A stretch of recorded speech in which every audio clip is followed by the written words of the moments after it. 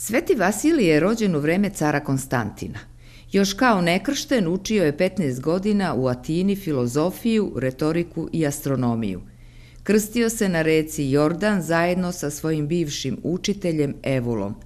Bio je episkop Kesarije Kapadokijske, blizu 10 godina, a završio svoj zemaljski život kada je napunio 50 godina od rođenja.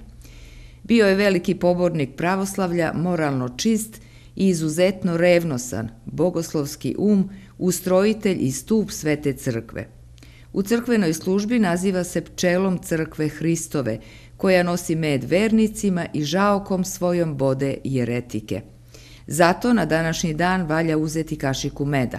Vasiljevdan se kod Srba slavi kao krsna slava, a kod Grka i Rusa kao imendan.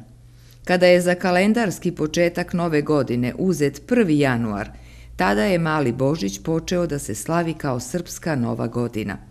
Za ovaj dan vezuju se mnogi običaji, a postoje i sujeverija šta na ovaj dan ne bi trebalo raditi.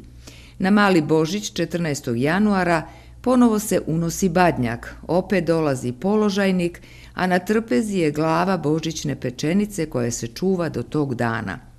U mnogim krajevima spaljuju se ostaci badnjaka, ponegde mes i poseban obredni hleb, vasilica, u spomen svetom Vasiliju Velikom.